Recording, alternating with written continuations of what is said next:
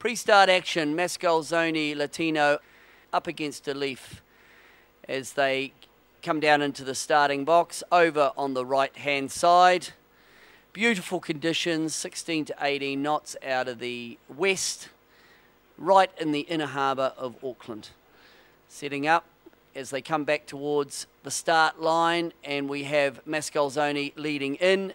A left, beautiful time run, got it right on the button taking the power of the right. Up the first up when we go with Mascalzone Latino pushing from the left-hand side, Aleph protecting the power of the right.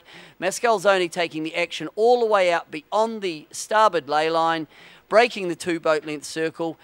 A technical lead change coming into Mark 1. So at Mark Mark 1, Mascalzone leads around the mark, uh, quite a difficult manoeuvre in the stronger winds to get the bear away set. Up go the gennakers, and they head on leg two down to the bottom, coming down the layline, heading towards the Devonport shore.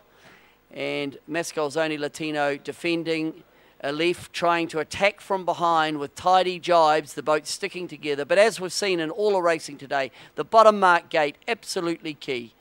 Mascalzone Latino coming to the right-hand marker buoy, protecting their advantage. Aleph just not getting the bottom mark rounding correct and losing ground on the second upwind.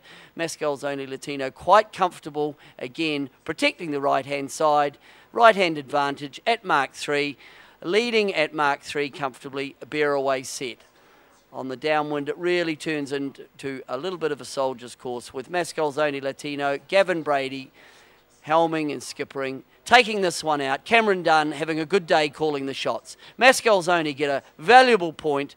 Aleph coming through, just reflecting on their race.